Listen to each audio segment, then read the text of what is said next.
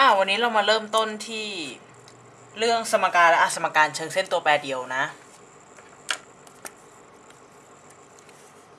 เราก็มาดูก่อนว่าสมการคืออะไร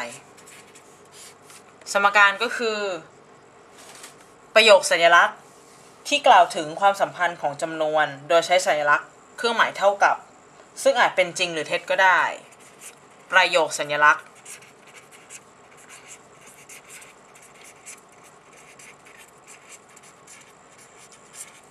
ที่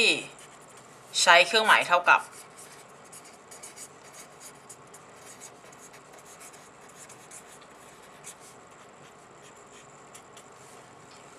โดยอาจจะเป็นจริงหรือเท็จก็ได้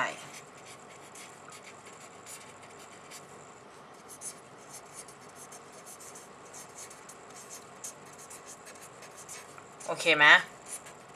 ก็ประเด็นก็คืออันดับแรกคือที่สำคัญมาก ต้องมีเครื่องหมายเท่ากับ อันดับที่สองคือจริงหรือเท็จก็ได้ ต่อไปเราก็ไปดูการแก้สมการ การแก้สมการคืออะไร ก็คือการหาค่าตัวแปรในสมการนั้นๆ ถ้าเกิดนำค่าของตัวแปรที่คำนวณได้เนี่ยไปแทนค่าในสมการแล้วจะทำให้สมการนั้นเป็นจริง คือการหาค่าตัวแปร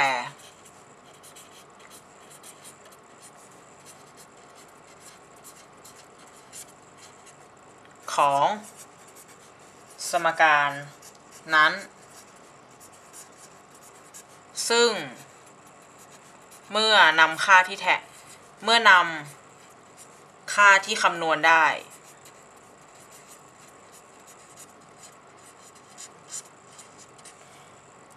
ไปแทนค่า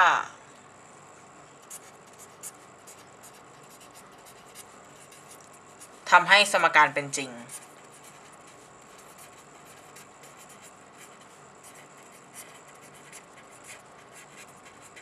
อเคไหมตอนเนี้ยพี่จะเน้นคำว่านำไปแทนค่า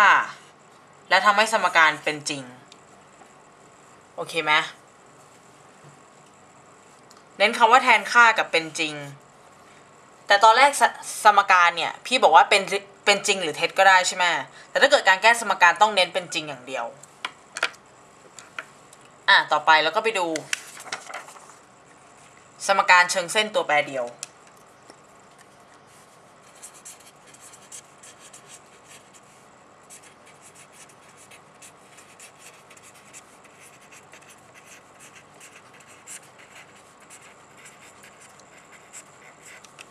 สมการเชิงเส้นตัวแปรเดียวนะ มันก็คือสมการที่มีแค่ตัวแปรเดียว แล้วก็ดีกรีเป็นหนึ่งสมการที่ มีหนึ่งตัวแปร แล้วก็ดีกรีเท่ากันหนึ่ง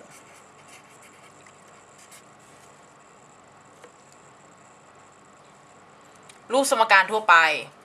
รูปทั่วไป คือ ax บวก b เท่ากับ 0 โอเคไหมและกำหนดว่า a เนี่ย ต้องไม่เท่ากับ 0 ด้วย โดยที่ a กับ b จะเป็นค่าคงตัว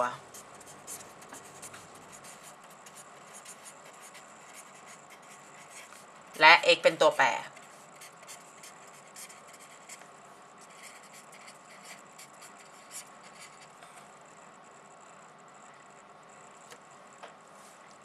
อะ เรามาดูเช่น เช่น ex หน่อย ex ก็บอกว่า 2x บวก 4 เท่ากับ 0 อันนี้เรียกว่าสมการเชิงเส้นตัวแปรเดียว เพราะมันตรงตามรูปนี้ใช่ไหม ax บวก b เท่ากับ0เป็นรูปทั่วไป หรือ 3x ลบ9เท่ากับ 21 อันนี้น้องบอกว่าพี่มันไม่เห็นเป็นรูปทั่วไปเลย แต่ถ้าเกิดน้อง เอาลบ21 เอา 21ย้ายมาลบข้างซ้าย มันก็จะเป็นรูปทั่วไปแล้วใช่ไหม แล้วพี่บอกว่าพี่เปลี่ยนลบ9ลบ21เนี่ย พี่เปลี่ยนเป็น 3x ลบ30 เท่ากับ 0 เพราะฉะนั้นมันก็จะเข้ารูปทั่วไปแล้วถูกไหมต่อไป สมการที่สมมูลกัน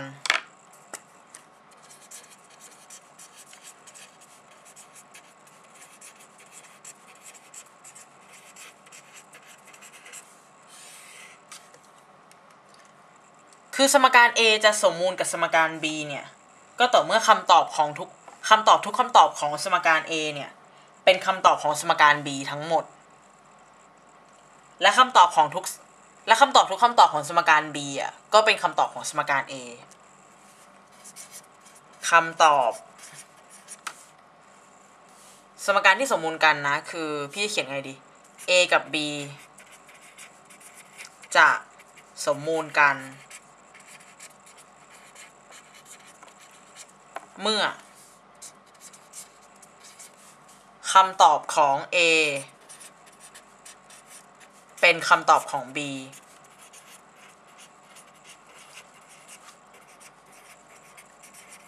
และคำตอบของ B ก็เป็นคำตอบของ A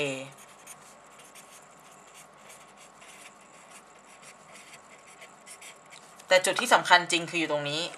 อยู่ที่คำว่า ทุกคำตอบ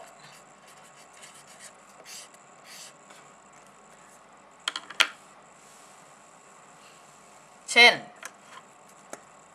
ex หน่อย x ลบสองเท่ากับห้ากับ 7x เท่ากับ 49 พี่บอกว่าอันนี้ x เท่ากับ7ปะ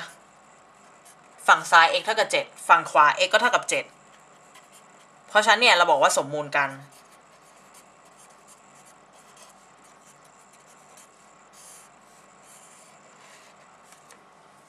โอเคไหมอะเราดูอีกอันหนึ่ง 2x บวก 4 เท่ากับ 16 กับ x ส่วน 2 เท่ากับ 3ตรงนี้น้องย้าย 4ไปลบ เหลือ12ย้าย2ไปหารเหลือ6ตรงนี้น้องเอา2ขึ้นไปคูณเป็น x เท่ากับ6เพราะฉันก็เหมือนกันเป็นสมมูลกัน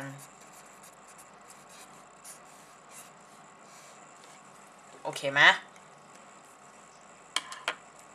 น้องก็เริ่มงงแล้วว่าพี่คะบรรทัดนี้บรรทัดนี้สองบรรทัดนี้แล้วก็บรรทัดนี้น้องพี่มายังไง สำหรับน้องที่ยังไม่เคยเรียน พี่จะสอนขั้นตอนง่าย ๆ ของการแก้สมการให้ พี่บอกว่าพี่ใช้สมบัติเท่ากัน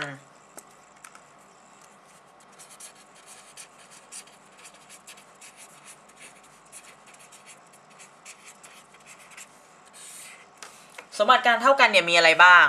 ข้อแรกบอกว่า ข้อหนึ่งเป็นสมบัติสะท้อน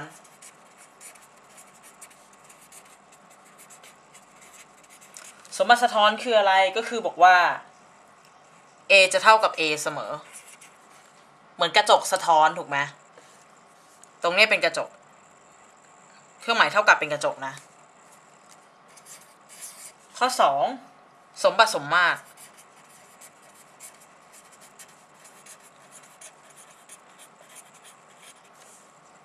สมบัติสมมาตรเนี่ยบอกว่าถ้า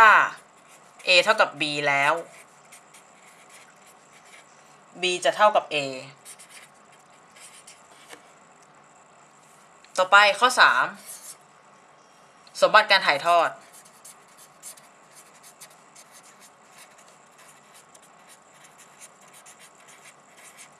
สมบัติการถ่ายทอดเป็นยังไงบอกว่า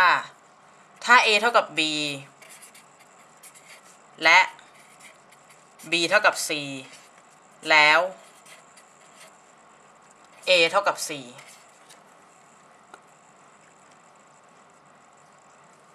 อเคไหมต่อไปข้อ 4 สมบัติ การบวกด้วยจำนวนที่เท่ากัน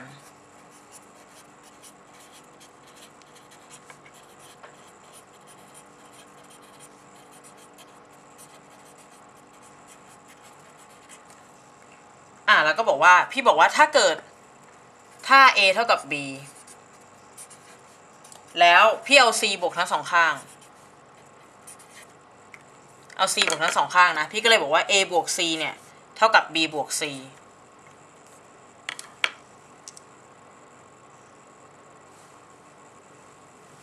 โอเคไหมต่อไป ข้อ 5 บอกว่า สมบัติการตัดออกด้วยจำนวนที่เท่ากัน สมบัติการตัดออก ด้วยจำนวนที่เท่ากัน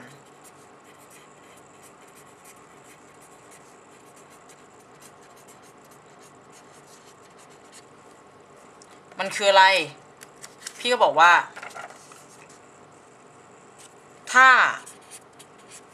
a บวก c เนี่ย เท่ากับ b บวก c แล้ว พี่เอา c เนี่ย ไปลบออกทั้งสองข้าง เพราะฉะนั้น c ก็ตัดกับ c ถูกไหมพี่ก็เลยบอกว่าแล้ว a เท่ากับ b มันจะเหมือนกลับข้างกับข้อ 4 ต่อไปข้อ 5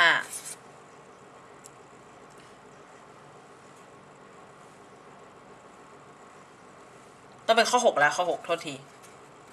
ข้อ 6 บอกว่าสมบัติการคูณด้วยจำนวนที่เท่ากัน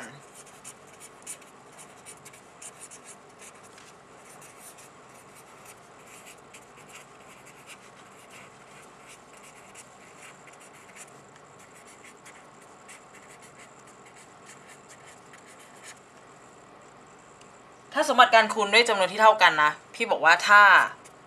a เท่ากับ b แล้ว พี่เอา c คูณทั้งสองข้าง มันจะเท่ากัน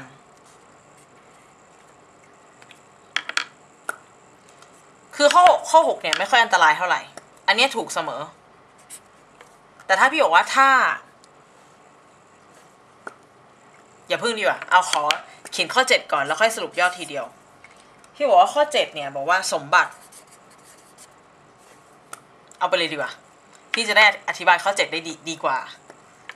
แป๊บนึงนะ ถ้าพี่เขียนว่าถ้า AC เนี่ย เท่ากับ BC แล้ว A เท่ากับ B จริงปะ น้องก็บอกก็น่าจะจริงนะพี่หนูคูณด้วย1ส่วน c ทั้งสองข้างเลย แล้วน้องก็ตัด c ทิ้ง น้องก็ได้ว่า a เท่ากับ b พี่บอกว่ามันจริงทุกกรณีเลย ยกเว้น c เท่ากับ0เช่น1คูณ0มันเท่ากับ2คูณ0จริง แต่1ไม่เท่ากับ2ถูกไหมมันก็เลยเกิดสมบัติข้อ7ขึ้นมาไง ข้อ 7 บอกว่าสมบัติ การตัดออก ด้วยจำนวนที่เท่ากันของการคูณ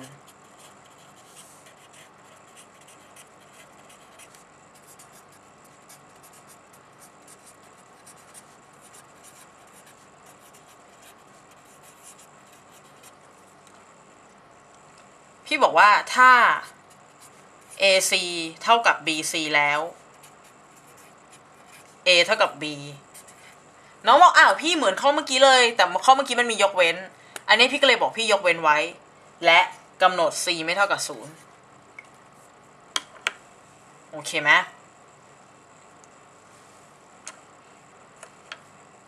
จริง ๆ การตัดออกด้วยจำนวนที่เท่ากันของการคูณเนี่ย มันคล้าย ๆ การหาร กับ การตัดออกด้วยจำนวนที่เท่ากัน อันนี้ต้องมีเขียนของการบวก ของการบวก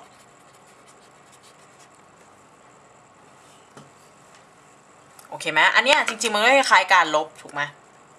คล้ายๆการลบ โอเคปะ เราจะสังเกตว่าข้อ4กับข้อ5มักไปด้วยกัน บวกกับลบไปด้วยกัน แล้วข้อ6กับข้อ7ก็มักไปด้วยกัน ถ้ามีถ้าพี่เขียนสรุปนะ บอกว่าสมบัติมีอะไรบ้าง อันดับแรกก็ สะท้อนใช่ไหมสมมาตรถ่ายทอด แล้วก็บวก ลบ คูณ หาร โอเคไหมนี่คือสรุปสมบัติทั้งหมด แต่น้องต้องจำไว้ว่าบวกลบคูณหารเนี่ย ต้องต้องทั้งสองข้าง ของสมการ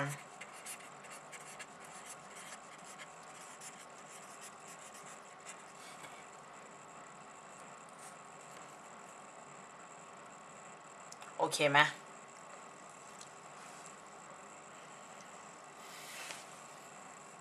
แล้วก็ต้องระวังอะไร ระวังว่าการหารเนี่ย ตัวหารต้องไม่เป็นศูนย์ใช่ปะ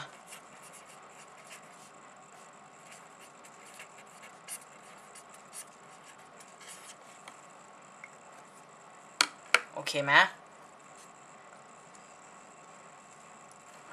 ต่อไปพอเรารู้จักสมบัติแล้ว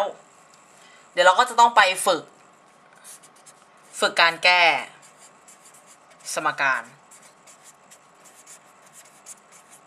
และฝึกการแก้สมการเนี่ยมันมีสองแบบ มันมีแบบเป็นพิชคณิตธรรมดา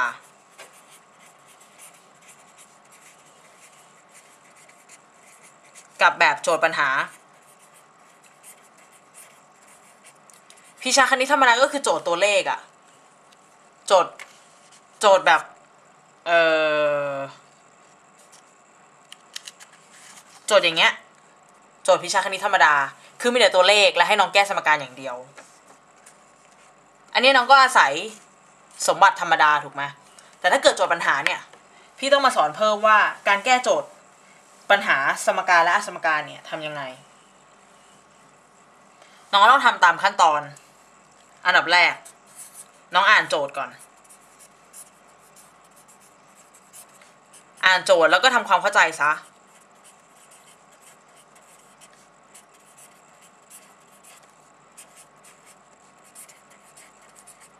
กกนี่เกี่ยวกับนะ เป็นตัวย่อโดยสากลนะพี่ว่า ไม่รู้เหมือนกัน แต่ส่วนใหญ่พี่ใช้จนชินละ ต่อไปข้อสองที่เราต้องทำก็คือสมมุติตัวแปร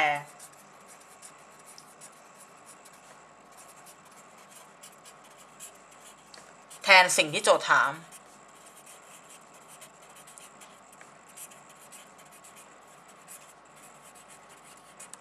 ต่อไปข้อสาม สร้างสมการ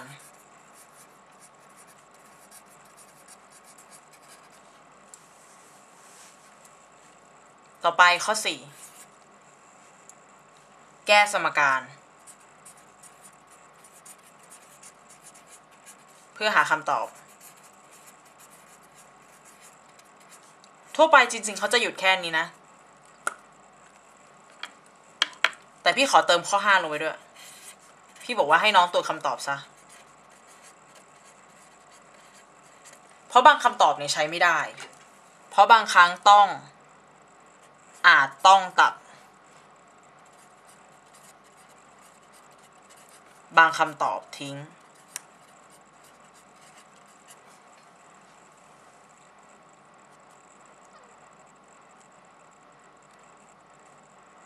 โอเคไหม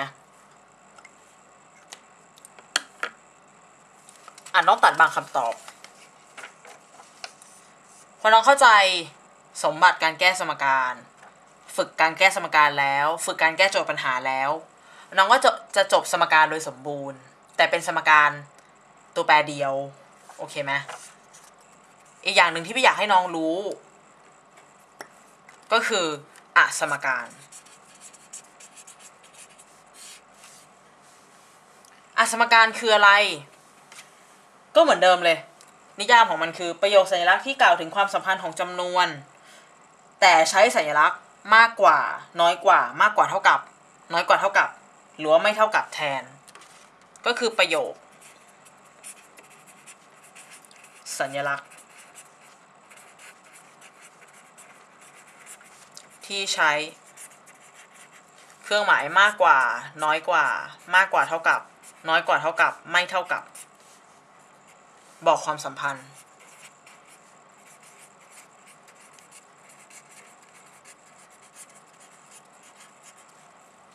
โอเคไหมอะ ต่อไปเราก็มาดูอสมการเชิงเส้นตัวแปรเดียว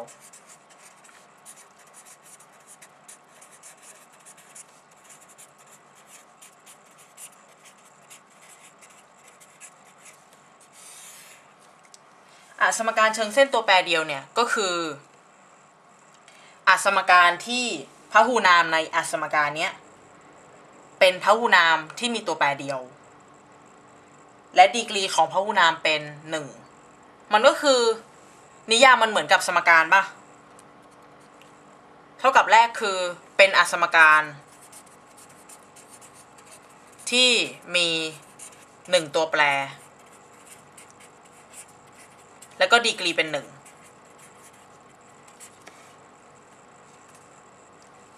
โอ เคไหมเช่น เช่น เช่น เช่น 3x ลบ4น้อยกว่า 2x บวก5หรือว่า 4x ไม่เท่ากับ 24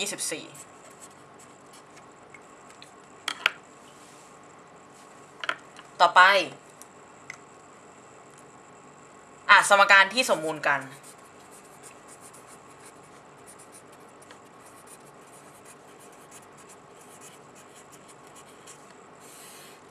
สมการที่สมมูลกันก็คืออะไรอสมการ A จะสมมูลกับอสมการ B ก็ต่อเมื่อคำตอบทุกคำตอบของอสมการ A เป็นคำตอบทุกคำตอบของอสมการ B และคำตอบทุกคำตอบของอสมการ B เป็นคำตอบของอสมการ A นิยามเหมือนอะไร เหมือนสมการเลย จริง ๆ นิยามของอสมการอสมการเชิงเส้นตัวแปรเดียวกับอสมการที่สมมูลกันเนี่ยทุกอย่างเหมือนสมการ สมการเชิงเส้นตัวแปรเดียว และสมการที่สมมูลกัน พียงแต่ว่าการใช้เครื่องหมายเนี่ยต่างกันแค่อย่างเดียว ถูกไหมอ่านี่ก็เขียนว่า A จะสมมูลกับ B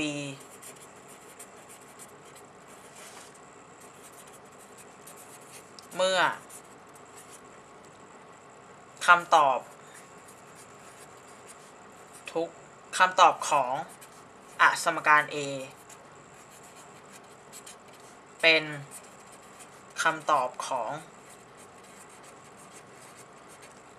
อสมการ B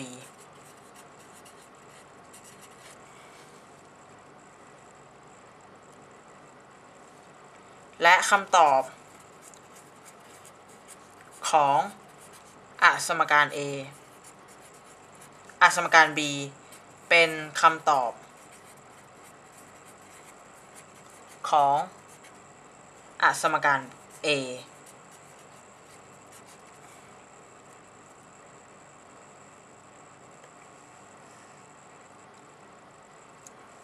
และ อย่าลืมคำว่าอะไร ทุกคำตอบ ทุกอย่างพี่จะเน้นเหมือนสมการเลยนะ พี่ก็เลยจับมาสอนพร้อม ๆ กัน เพราะพี่รู้สึกว่าการจำอะไรที่มันเหมือนเหมือนกันไปพร้อม ๆ กันจะจำได้ดีกว่า การแยกกันจำโอเคไหมเพราะฉะนั้นน้องก็น่าจะเดาได้ว่าต่อไปพี่จะสอนอะไร พี่ก็ต้องสอนล้อไปกับสมการใช่ไหมหัวข้อต่อไปก็คือพี่จะสอนสมบัติของการแก้อสมการ เดิมพี่ใช้คำว่าสมบัติของการเท่ากัน อันนี้พี่ใช้สมบัติการไม่เท่ากัน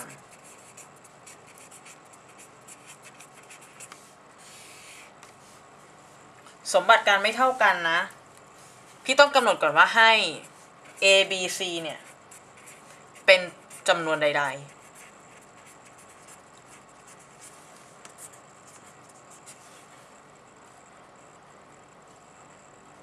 โอเคไหม เป็นจำนวนใดๆปุ๊บ ข้อหนึ่งสมบัติการถ่ายทอด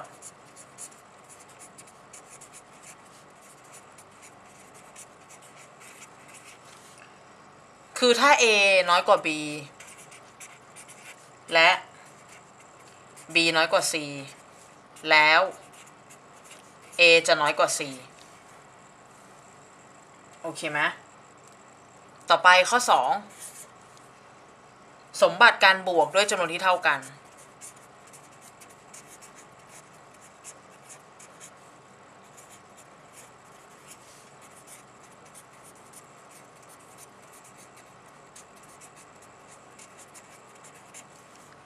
น้องก็ต้อง ดูถ้า a น้อยกว่า b แล้ว พี่เอา c บวกทั้งสองข้างนะ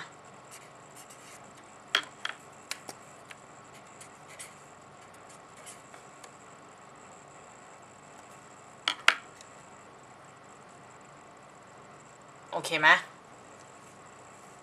ต่อไปข้อสาม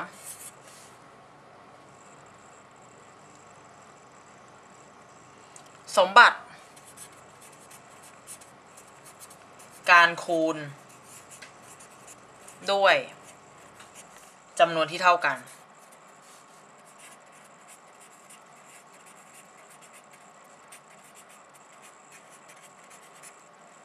อันนี้สำคัญสุด ดอกจันแรก พี่บอกว่าถ้า c มากกว่าศูนย์คือ c เป็นบวกเนี่ย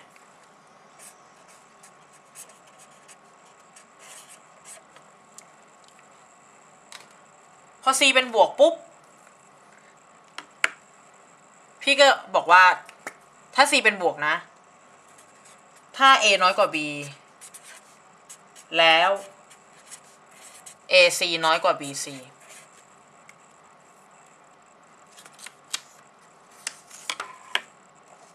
แต่ถ้าดอกจันต่อมา C ดันน้อยกว่าศูนย์หมายความว่า C เป็นลบ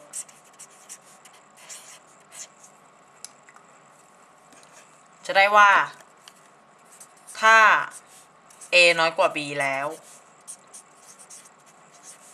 AC กลับมากกว่า BC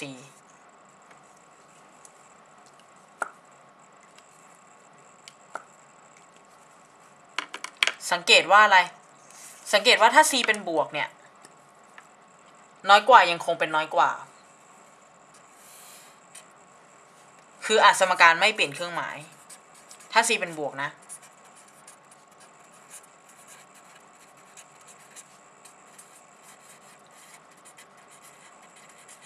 แต่ถ้า c เป็นลบเนี่ย น้อยกว่าดันเปลี่ยนเป็นมากกว่าอาสมการเปลี่ยนเครื่องหมาย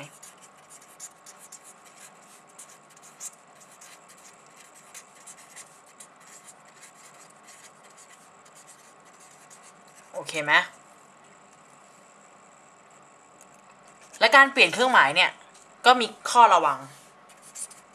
ข้อควรระวัง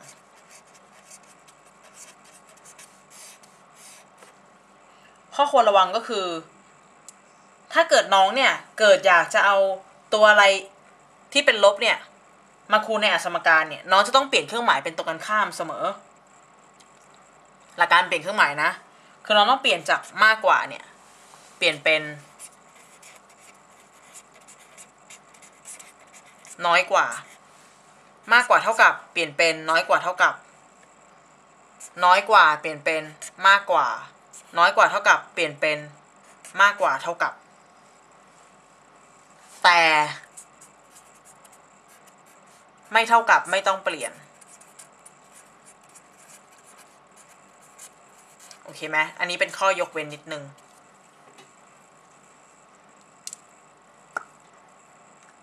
โอเคไหมเช่น เช่น เช่น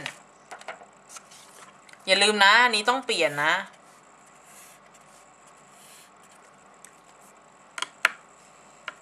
พี่ว่าที่สอนมาของอาสมการเนี่ย พี่ว่าหน้านี้ยากสุด จริง ๆ นะ พี่ให้สามดาวเลยแล้วกัน หน้านี้ยากสุดแล้วน้องก็ต้องจำให้ได้ เพราะว่ามันเป็นน่าจะเป็นจุดหลอกหลัก ๆ ที่ที่ข้อสอบใช้ออกอะ่ะ อ่าดูนะ เช่น เช่น ลบสองมากกว่าหกลบสอง x มากกว่าหกน้องบอกพี่เอานี่คูณเลย เอาลบหนึ่งส่วนสองคูณ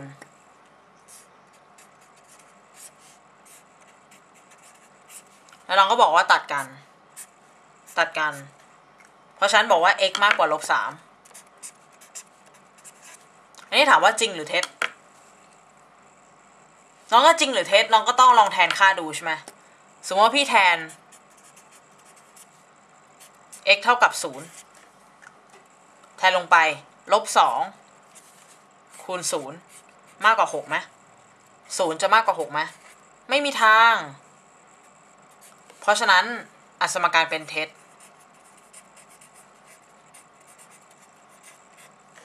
เพราะอะไร เพราะว่าน้องเอาตัวลบคูณนี่ น้องต้องกลับเครื่องหมายสมการ เพราะฉะนั้นคำตอบคือ x น้อยกว่าลบสาม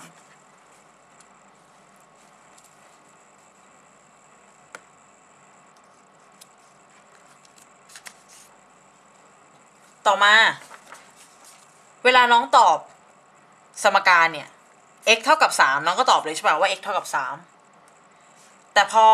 อ่านสมการเนี่ย x น้อยกว่าลบสามเนี่ย x มันเป็นอะไรได้มั่ง x อาจจะเท่ากับลบสี่ลบห้าลบหกหรืออะไรก็แล้วแต่ หรืออาจจะเป็นอาจจะไม่ใช่จำนวนเต็มอาจจะเป็นลบสี่จุดศูนย์หนึ่งลบสี่จุดศูนย์ศูนย์แปดเก้าแปดหรืออะไรก็ตามมันอะไรก็ได้ใช่ไหมน้องก็ต้องพยายามสื่อให้เขารู้ว่าน้องจะพูดถึงอะไร สื่อให้รู้ว่า จะตอบอะไรบ้าง ผ่านทางกราฟ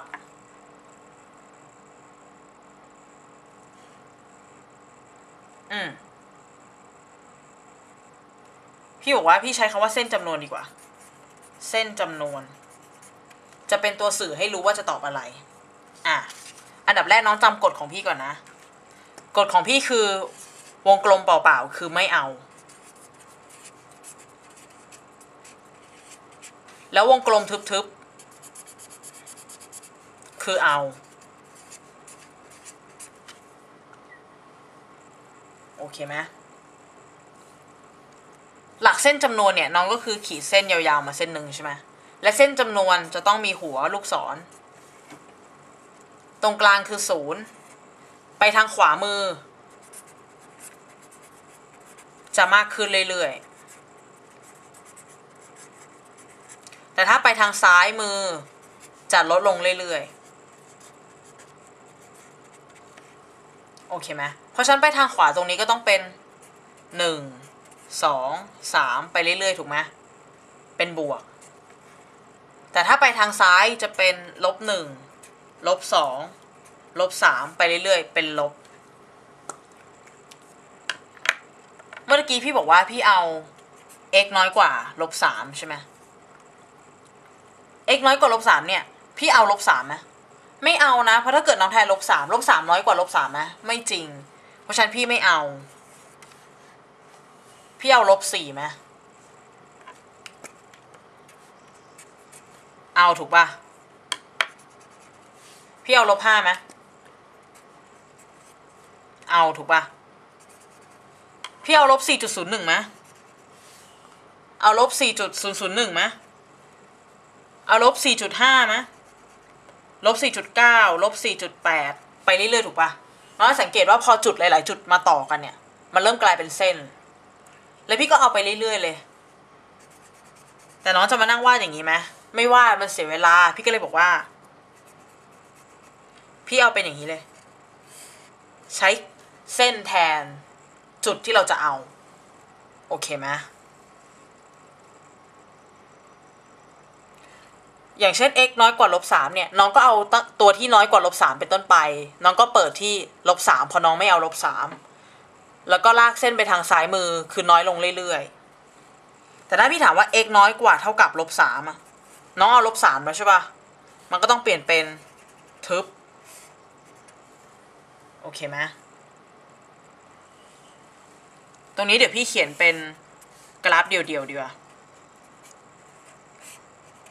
น้องจะได้รู้ว่าน้องควรจะ ควรจะจดยังไงถูกไหม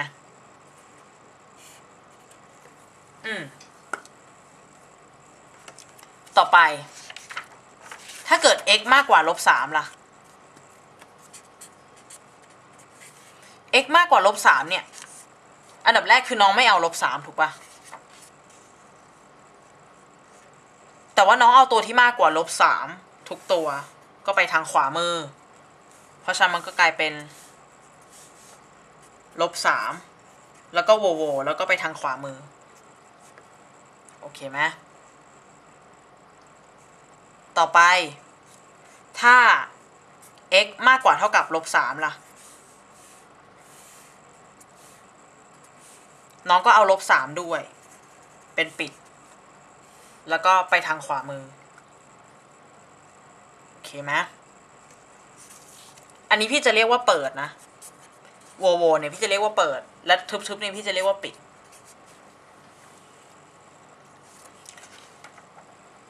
ต่อไปมาถึงคำถามไฮไลท์ x ไม่เท่ากับลบสามล่ะ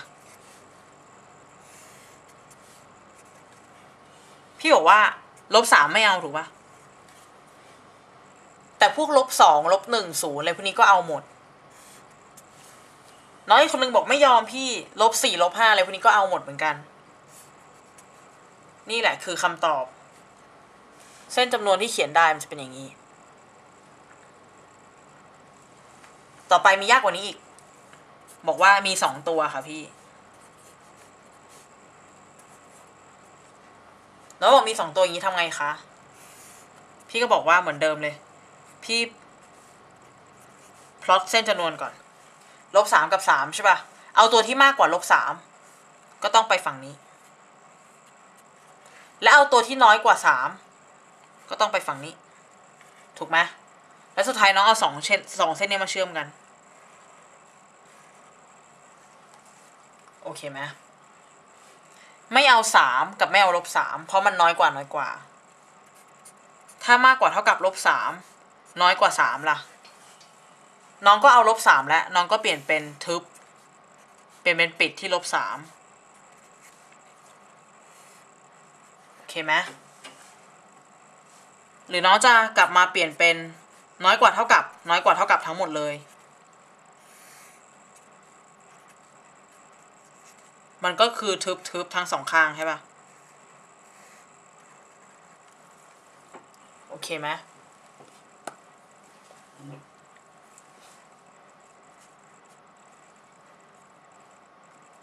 โอเคนะ หลักๆมีแค่เนี้ย มีแค่บรรทัดสีน้ำเงินที่พี่เขียน ไม่เอากับเอา เปิดกับปิด โวกับทึบ ไปทางขวาจะมากขึ้น ไปทางซ้ายจะลดลง แล้วเราก็วาดเส้นจำนวน แล้วเราก็ต้องรู้ให้ได้ว่า ถ้าน้อยกว่าเนี่ยน้องก็นึก นึกจำนวนที่น้องต้องการก่อน แล้วน้องก็ชี้ไปทางนั้น เช่นอย่างเงี้ย x น้อยกว่าลบสามน้องน้องนึกถึงลบห้าลบห้าก็ต้องอยู่ทางซ้ายมือของลบสามก็ชี้ไปทางซ้าย ถ้า x มากกว่าลบสามเนี้ยน้องก็นึกถึงสองสองก็ต้องอยู่ทางขวาของลบสามน้องก็ชี้ไปทางขวา อย่าลืมนะไม่เท่ากับนี่ชี้สองข้างนะ แต่โหวตรงนั้นเอาไว้เฉยๆ โอเคไหมต่อไป พอน้องเขียนกราฟอะไรเสร็จแล้วน้องก็ต้องไปทำโจทย์ถูกปะน้องใช้สมบัติเสร็จแล้ว น้องเขียนกราฟได้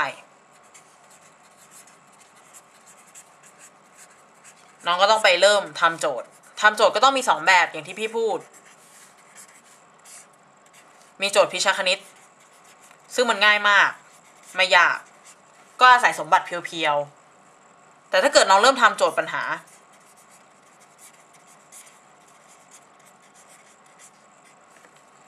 โจทย์ปัญหาเนี่ยมันก็ต้องเริ่มมีขั้นตอนการแก้อสมการเข้ามา อันดับแรกก็คล้ายๆกับสมการนะ มีห้าข้อเหมือนกัน ข้อแรกก็คืออ่านโจทย์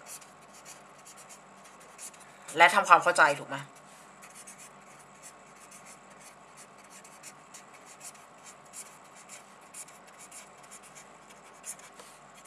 ข้อสองบอกว่าสมมุติตัวแปร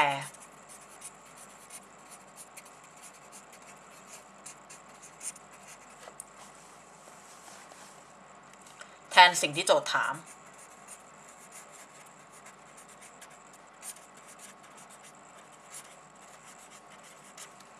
ข้อสาม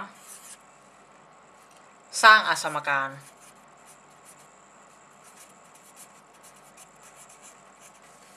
ข้อสี่แก้อสมการ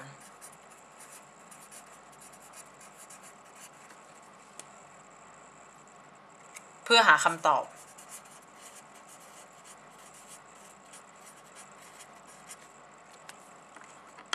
ต่อมาข้อ 5 ก็ไฮไลท์ ตรวจคำตอบ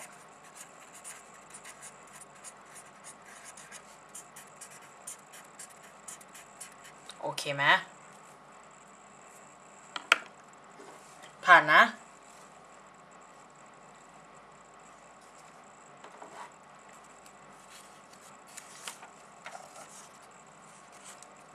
ต่อไปก็จะพูดถึงเรื่องระบบสมการ แต่พอเป็นระบบสมการเนี่ย พี่จะพูดถึงระบบสมการเชิงเส้น 2 ตัวแปร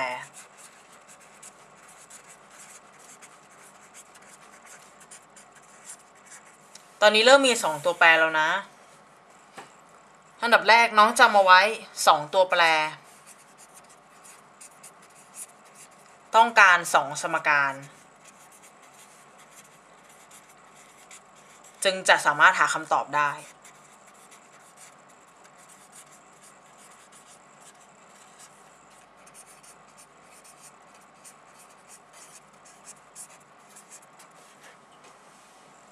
เคไหมถ้า n ตัวแปรก็ต้องต้องการ n สมการ อะเราดูระบบสมการ เชิงเส้นสองตัวแปรกัน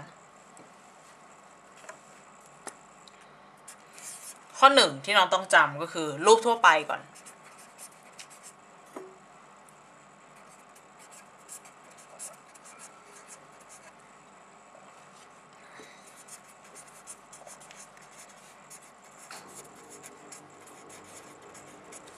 เขียนอยู่ในรูป ax บวก by บวก c เท่ากับ0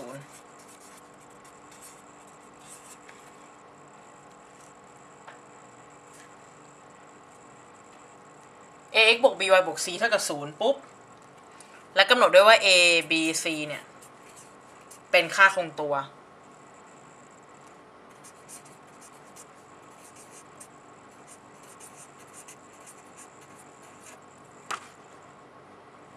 เป็นค่าคงตัว โดยที่ a กับ b ไม่เป็นศูนย์พร้อมกัน โดยที่ อันนี้สำคัญนะ a และ b ไม่เป็นศูนย์พร้อมกัน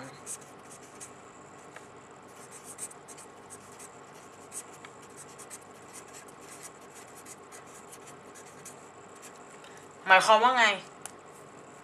หมายความว่า a เท่ากับศูนย์ได้ b เท่ากับศูนย์ก็ได้ แต่ a เท่ากับศูนย์และ b เท่ากับศูนย์ไม่ได้ โอเคไหมไม่ได้ไม่ได้จำกัดว่าตัวใดตัวหนึ่งเป็นศูนย์ไม่ได้ แต่แค่อย่าเป็นศูนย์พร้อมกันพอ โอเคนะ เช่น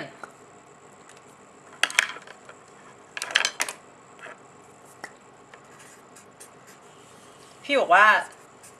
สมการ 2x บวก 4y บวก 5 เท่ากับ 0 ตัวนี้เรามาวิเคราะห์ก่อน a เท่ากับเท่าไหร่ a ก็เท่ากับ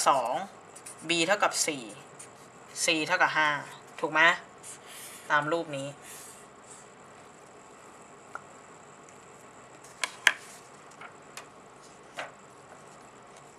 ต่อไปข้อ 2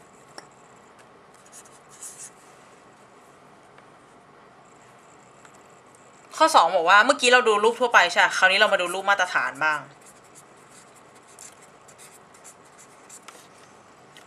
ของสมการเชิงเส้น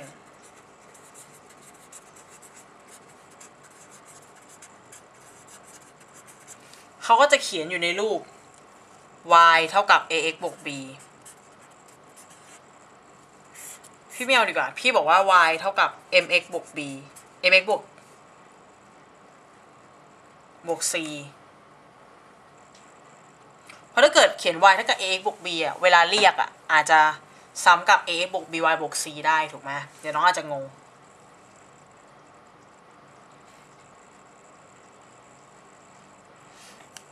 แล้วก็ y เท่ากับ mx บวก c เนี่ย มันมีชื่อเรียกของค่า m กับค่า c ด้วย m เนี่ยเรียกว่าความชัน กับ c เนี่ย เรียกว่าค่าตัดแกน y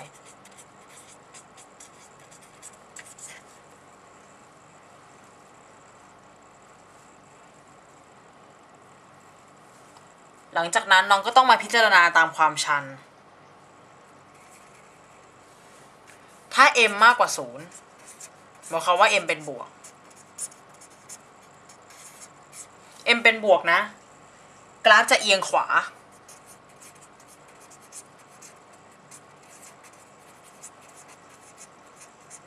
ทำมุมแหลมกับแกน x ทางด้านบวก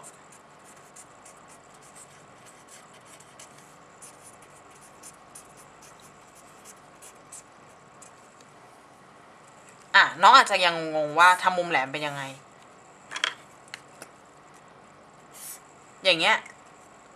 มุมที่เกิดจากแกะที่เกิดกับแกน x ทางด้านบวกก็คือมุมนี้ปะอย่าลืมนะต้องเป็นแกน x ทางด้านบวกนะ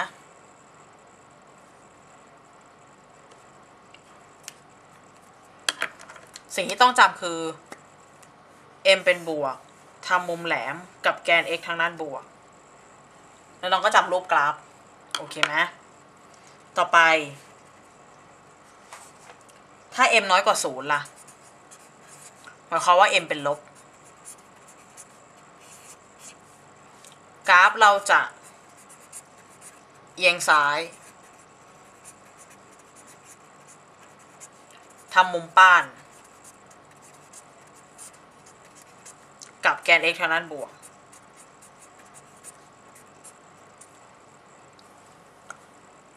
มันก็เป็นยังไง อันนี้ x ทางด้านบวกใช่ไหมมันก็จะเป็นด้านนี้ มุมที่เกิดขึ้นก็คือมุมนี้ถูกปะตรงนี้เป็นมุมแหลม เพราะฉะนั้น x เป็น m เป็นบวก ตรงนี้มุมป้าน x m เลยเป็นลบ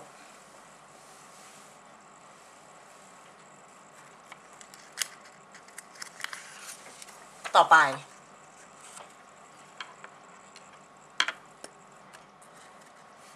ถ้า m เท่ากับศูนย์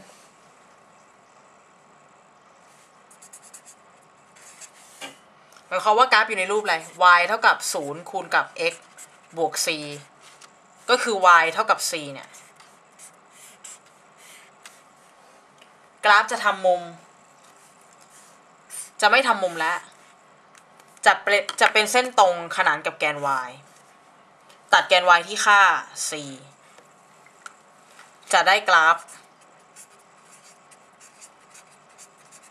เส้นตรงขนานแกน y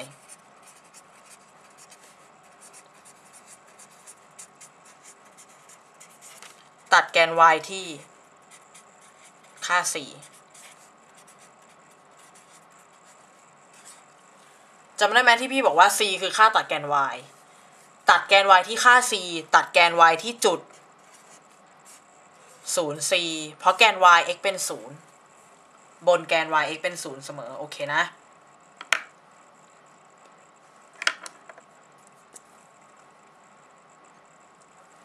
ต่อไป ถ้าสมการไม่มีตัวแปร y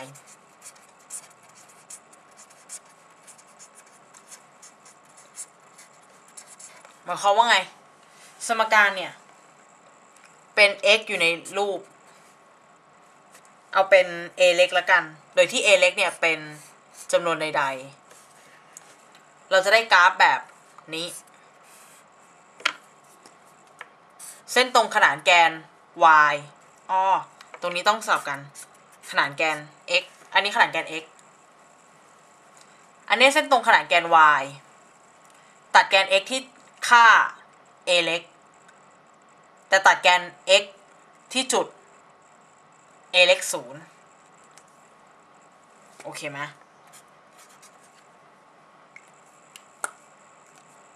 อะ ก็จะได้กราฟ เส้นตรง ขนาน แกน y แล้วก็ตัดแกน x ที่ค่า a เล็ก แต่ที่จุด a เล็กศูนย์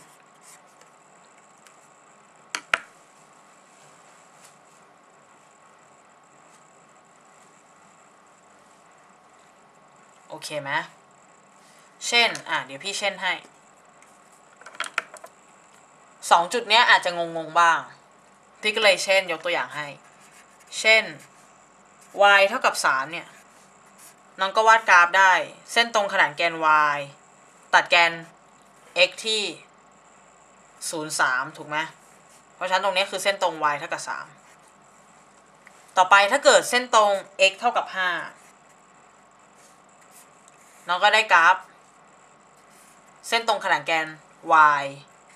แต่แกน x ที่ 0 5 เอ้ย 5 0 ราะฉะนั้นเส้นตรงนี้คือ x เท่ากับ 5 โอเคไหม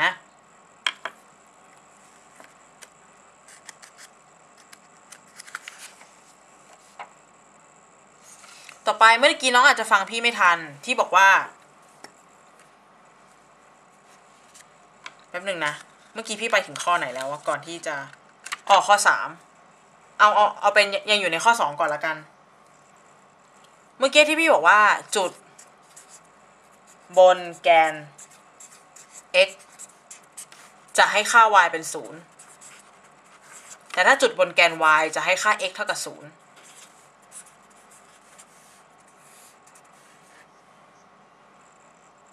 โอเคไหม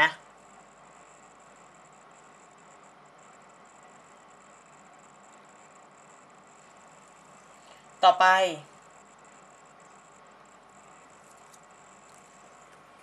แกน x เนี่ย มีสมการเป็น y เท่ากับ 0 และแกน y เนี่ย มีสมการเป็น x เท่ากับ 0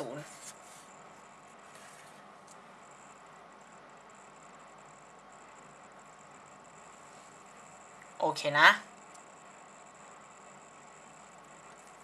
ต่อไป อันนี้เป็นสิ่งที่สำคัญมาก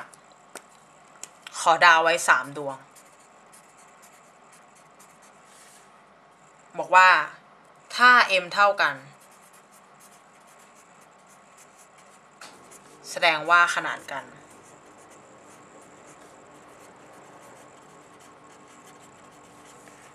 หมายความว่าไง y 1เท่ากับ m x y เท่ากับ m 1 x บวก c 1 แล้ว y เท่ากับ m 1 x บวก c 2จะได้ว่าสองเส้นเนี่ยขนานกัน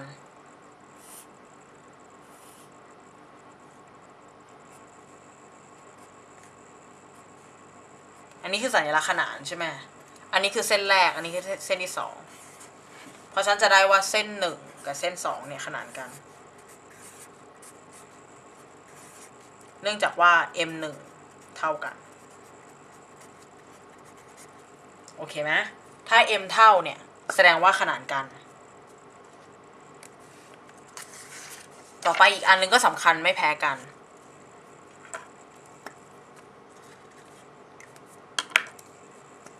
ก็ให้ดาวสามดวง ถ้า m หนึ่งคูณกับ m สองเนี่ย ท่ากับลบหนึ่งแล้ว แสดงว่า m หนึ่งจะตั้งฉากกับ m สอง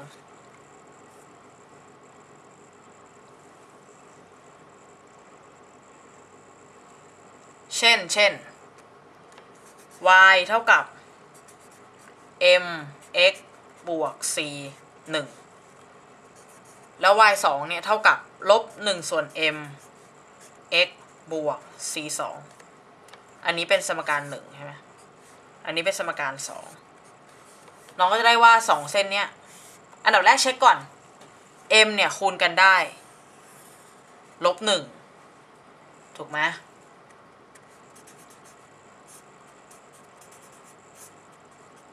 เพราะฉะนั้นสมการเส้นหนึ่งต้องตั้งฉากกับสมการเส้นสอง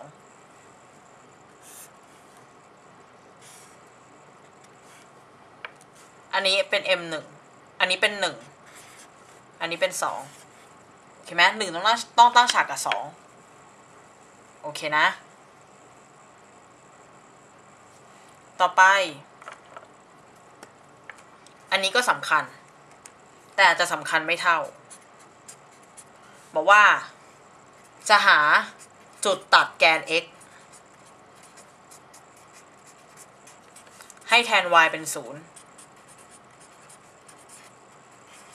แต่ถ้าเกิดจะหาจุดตัดแกน y ให้แทน x เท่ากับ 0 โอเคไหม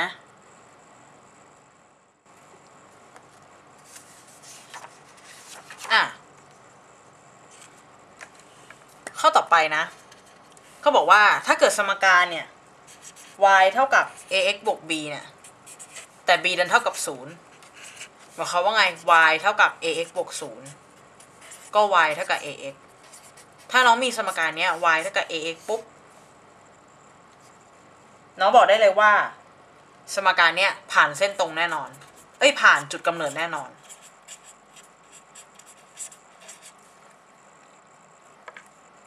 จุดกำเนิดคือจุดศูนย์ศูนย์นะ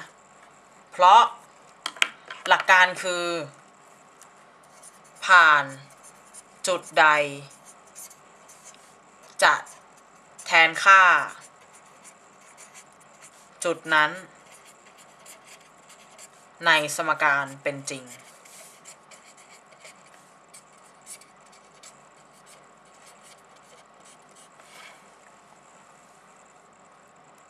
โอเคไหม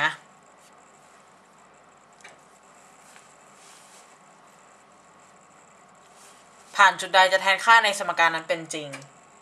ถ้าแทนแล้วเป็นเท็จก็แสดงว่าไม่ผ่าน โอเคนะ ต่อไป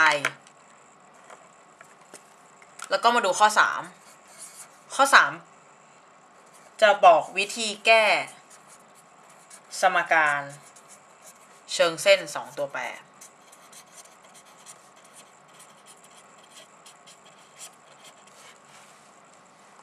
อะ วิธีแรกวิธีกราฟ น้องใช้กราฟแก้ หมายความว่าไง น้องก็ต้องเขียน เขียนกราฟให้ได้ถูกไหมพอน้องเขียนกราฟแล้วปุ๊บ น้องหาจุดตัดของกราฟ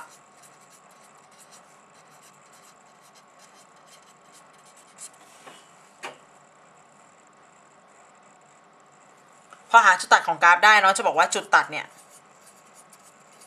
คือคำตอบของระบบสมการ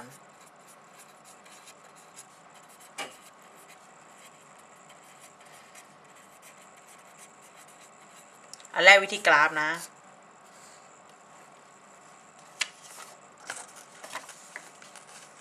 ต่อมาวิธีที่สองล่ะ ถ้าน้องถ้าน้องวาดกราฟไม่เก่ง วิวิธีที่สองคือวิธีกำจัดตัวแปร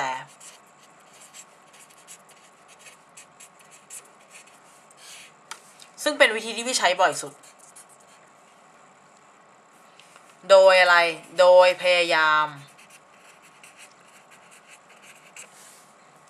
ทำให้สัมประสิทธิ์ของตัวแปรที่เราต้องการกำจัดเนี่ย ให้เท่ากัน แล้วก็เอามาบวกหรือเอามาลบกัน พยายามทำสัมประสิทธิ์ของตัวแปร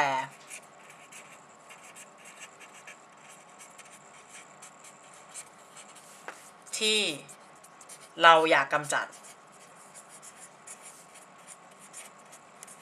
ให้เท่ากัน แล้ว เอาสมการมาบวกหรือลบกัน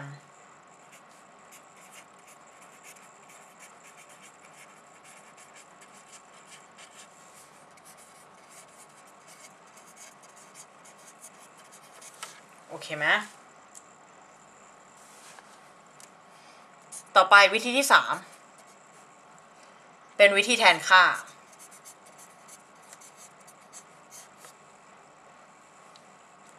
น้องจะแทนค่าตัวแปรด้วยตัวเลข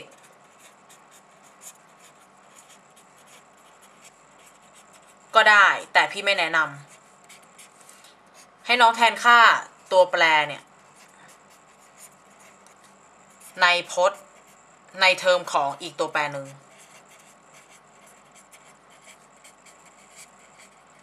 จะดีกว่า โอเคไหมพอน้องจัด